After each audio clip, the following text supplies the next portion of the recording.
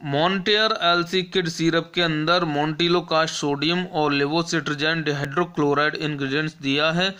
Montair LC kid syrup is used in the treatment of sneezing and runny nose due to the allergy Monty Montair LC kid syrup का प्रयोग बच्चों के लिए है।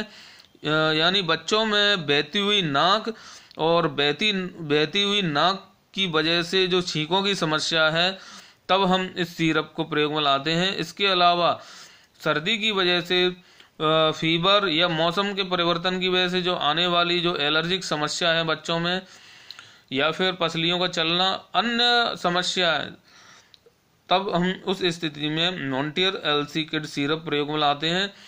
Montair LC kid के यानी जो इंग्रेडिएंट दिए हैं मॉन्टिलोकास्ट इसमें फोर एम के रूप में और पॉइंट फाइव एम के रूप में दिया है। यह सिरप वायु मार्ग की सूजन को कम करके सांस लेने में आसान बनाता है और एलर्जी की प्रतिक्रिया उत्पन्न करने वाले पदार्थ को, यानी पदार्थ को रोकने का काम मॉन्टियर एलसी किड के सिरप के द्वारा किया जाता है। यह सिरप आप छः महीने से लेकर तीन साल तक के बच्चों या और उनसे बड़े पाँच साल तक के बच्चों को आप दे सकते हैं। छः महीने के बच्चे के लिए आप फाइव एम एल या फाइव नहीं, ढाई एम एल आप उसको दीजिए छः महीने के बच्चे को।